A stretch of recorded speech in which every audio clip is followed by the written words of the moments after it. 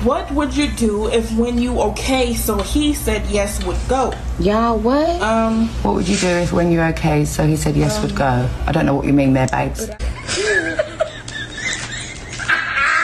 Stop laughing because this is really crazy.